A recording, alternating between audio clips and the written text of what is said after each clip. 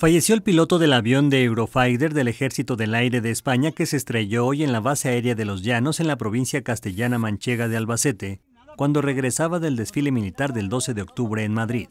El Ministerio Español de Defensa confirmó el deceso del piloto en el trágico accidente que se suscitó cuando tras el tradicional desfile por el Día de la Fiesta Nacional, volvió a la base aérea de Los Llanos en la localidad de Albacete. El avión siniestrado es uno de los cuatro Eurofighter que participaron este jueves en el desfile de las Fuerzas Armadas en Madrid, procedentes de la base aérea albaceteña, junto a otros cuatro pertenecientes a la base de Morón, Sevilla. El desfile tuvo lugar en medio de la crisis que ha desatado el desafío de Cataluña por su independencia.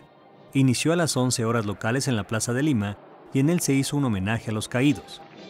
El desfile terrestre y aéreo transcurrió por el Paseo de la Castellana y participaron unos 3.900 efectivos, entre militares de los tres ejércitos, guardias civiles, policías y guardia real, 84 vehículos y 78 aeronaves.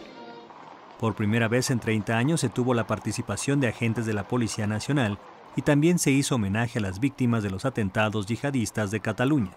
Notimex.